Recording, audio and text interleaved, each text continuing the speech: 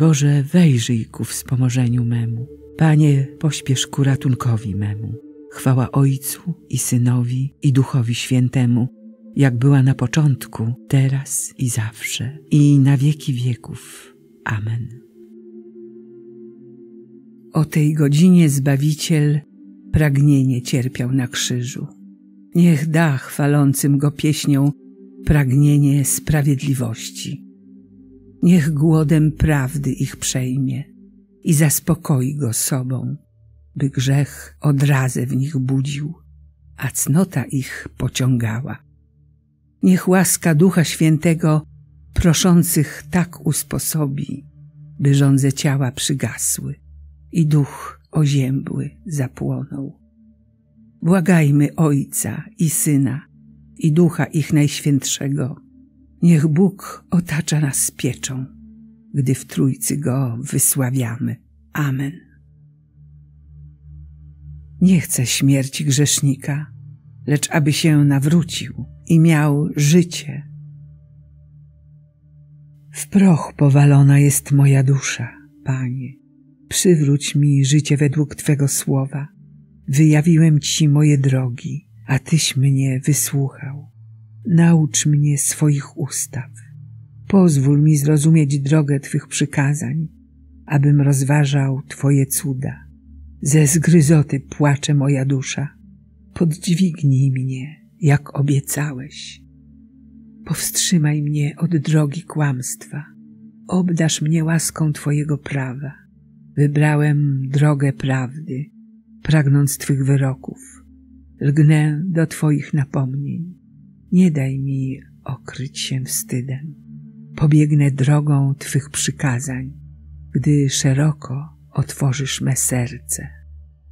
Chwała Ojcu i Synowi i Duchowi Świętemu, jak była na początku, teraz i zawsze, i na wieki wieków. Amen. Osądź mnie, Panie, sprawiedliwie, bo postępowałem nienagannie i nie wahałem się, pokładając nadzieję w Panu. Doświadcz mnie, Panie, wystaw mnie na próbę, zbadaj me sumienie i serce, bo przed moimi oczyma łaskawość Twa stoi i postępuję w Twej prawdzie.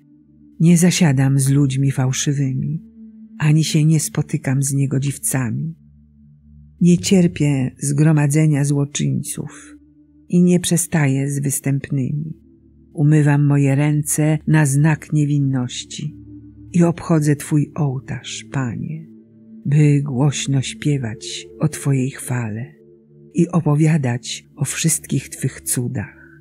Miłuję, Panie, dom, w którym mieszkasz i miejsce, gdzie przebywa Twoja chwała. Nie zabieraj z grzesznymi mej duszy, a życia mojego z mężami krwawymi. W ich ręku zbrodnia, a ich prawica pełna jest przekupstwa. Ja zaś kroczę w mojej niewinności. Wyzwól mnie i zlituj się nade mną. Na równej drodze stoi moja stopa. Na zgromadzeniach błogosławię Pana. Chwała Ojcu i Synowi i Duchowi Świętemu, jak była na początku, teraz i zawsze, i na wieki wieków. Amen. Do Ciebie wołam, Panie, opoko moja, na głos mój nie bądź głuchy, abym wtedy, gdy będziesz milczał, nie stał się podobnych do zstępujących do grobu. Usłysz głos mojego błagania, gdy wołam do Ciebie i gdy wznoszę ręce do świętego przybytku Twego. Nie gub mnie z grzesznikami i z tymi, którzy nieprawość czynią, którzy rozmawiają o pokoju z bliźnimi, a w duszy żywią złe zamiary. Niech będzie Pan błogosławiony, bo usłyszał głos mego błagania. Pan moją mocą i tarczą. Zaufało mu moje serce. Pomógł mi, więc moje serce się cieszy i moją pieśnią go sławię. Pan jest zbawczą mocą dla swego ludu, twierdzą zbawienia dla swego pomazańca. ocal swój lud i błogosław swemu dziedzictwu.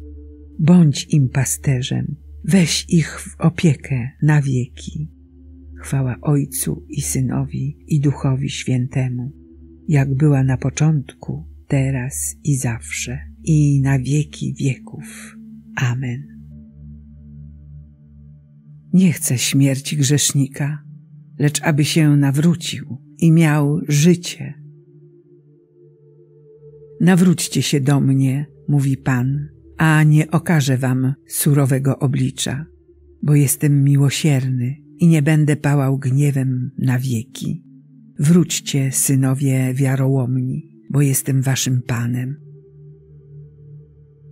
Odwróć swe oblicze od moich grzechów i zmasz wszystkie moje przewinienia. Módlmy się. Wszechmogący Boże, daj Twoim wiernym z takim usposobieniem przeżyć przygotowanie do świąt wielkanocnych, aby wspólnie podjęte umartwienia cielesne przyniosły wszystkim odnowienie ducha. Przez Chrystusa, Pana naszego. Amen. Błogosławmy Panu, Bogu niech będą dzięki.